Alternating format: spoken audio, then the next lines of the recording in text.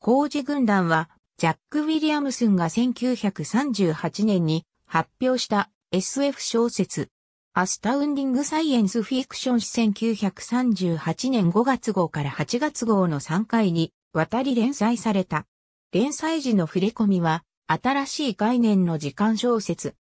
パラレルワールドの概念を発展させ、時間旅行者の介在がなくとも、歴史上の重要なポイントで、時間軸が分岐し、世界が枝分かれして、元の世界と並行した別の世界が生まれているという解釈を初めてメインプロットとして扱った作品。本作から平行世界の分岐点を意味するジョン・バール分岐点という SF 用語が生まれた。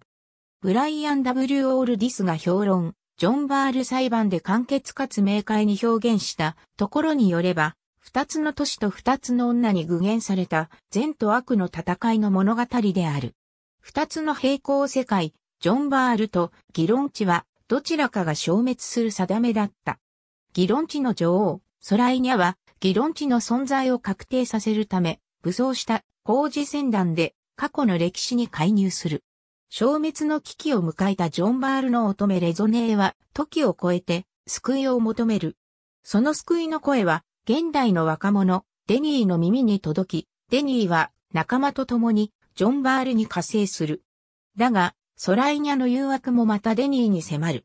果たして二つの世界の運命、そしてデニーの恋の行方やいかに。ありがとうございます。